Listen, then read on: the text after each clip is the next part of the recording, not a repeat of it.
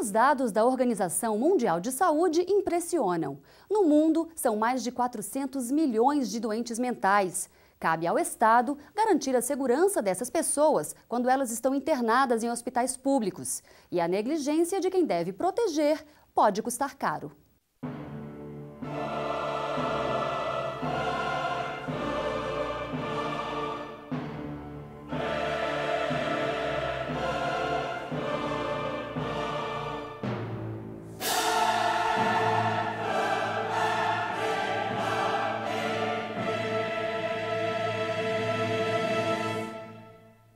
Rio de Janeiro, novembro de 1990.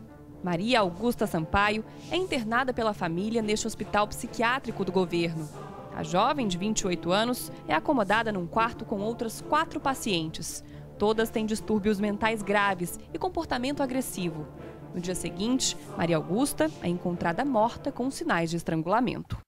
Ou seja, não foi feito nenhum tipo de eleição, de escolha na hora de separar. Olha, esses pacientes aqui, eles têm uma conduta é, grave. A assassina, uma mulher de 40 anos, era moradora de rua e havia sido internada poucos meses antes.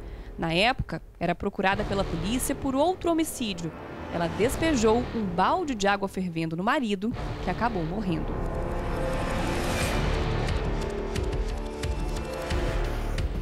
Quatro dias antes de matar Maria Augusta, a mulher havia tentado enforcar outra paciente e, horas antes do assassinato, agrediu dois enfermeiros. A família processou o hospital por negligência.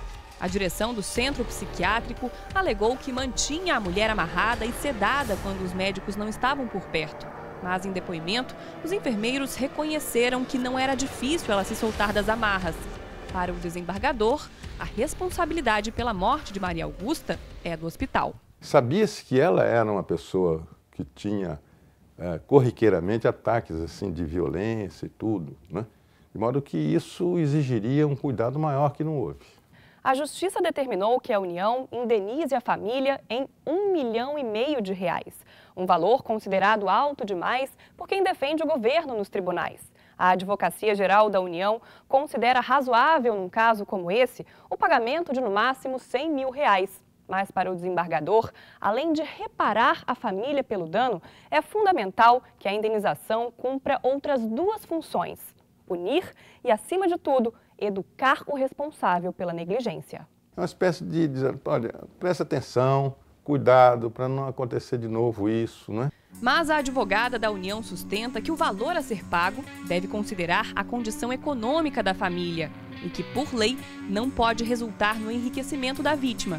Para Gláucia Souto, mesmo que os parentes fossem ricos, o valor ainda seria excessivo. Foi um valor muito alto considerado para os é, parâmetros de hoje em dia, da, da, da, da, do padrão de vida da, da população brasileira. 50 a 100 mil reais é um valor mais do que razoável. O advogado da família admite que 100 mil reais é um valor razoável para os parentes de Maria Augusta, mas afirma que não seria suficiente para punir a União. Para o porte da União Federal, 60 mil reais, 100 mil reais, isso é zero. Agora, o dia que a União Federal ela desembolsar um milhão e meio numa primeira, num primeiro caso judicial, no segundo caso ela desembolsar mais um milhão e meio, no terceiro ela vai pensar. No quarto, talvez não, não aconteça. A representante da União rebate, afirmando que quem vai pagar a conta é o cidadão. Porque esse valor vai, vai deixar de ser utilizado em, em saúde, em educação.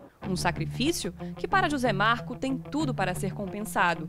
Para o advogado, o rigor na punição pode ajudar a melhorar a qualidade dos serviços prestados no Brasil significa fazer com que a União Federal, através dos seus dirigentes e outras instituições ou entidades, inclusive de cunho particular, passem a repensar nas condutas que elas adotam no momento em que assumem responsabilidade ou por um paciente, ou por um preso, ou por qualquer outro ato da, da vida civil.